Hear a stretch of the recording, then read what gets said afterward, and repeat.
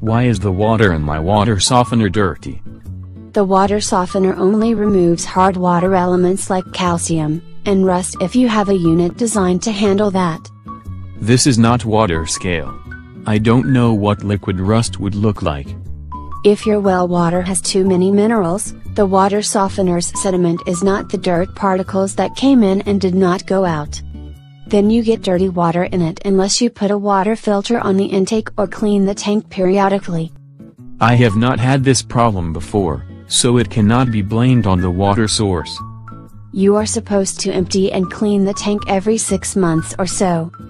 It has filters to prevent that. The filters capture the sediment and rust when the unit is backwashed, but the filters themselves get clogged over time. So I need to replace the filters to remove the sediment and clean the tank. How should I do that?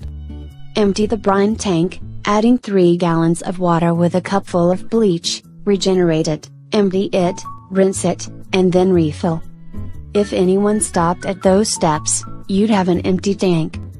And flip the bypass valve while doing it so I do not send soft but bleachy water to the rest of the house. Now the problem could be your salt. I do add salt to it. If you add solar salt, which crystallizes from seawater, you get more silt in the tank because that white salt contains dirt flecks you do not notice until after the salt is used up. I do not use solar salt. Sea salt sounds romantic but is not as good as it sounds. If your pipes are degrading, you'll get flakes of rust in the water. It is not like the rest of the pipes are putting out pink water. If you normally had high iron water and stopped using salt and resin mint for high iron water, that would explain it. I've never had a rust problem. That does not mean the valves and pipes connected to the water softener are not dirty or rusting. That I could at least verify by cleaning the valves and seeing if there's rust on the side I don't normally see. If the injectors are clogged and the water is darker in color, then the problem is likely due to sulfate reducing bacteria. Out comes the bleach and other cleaning chemicals.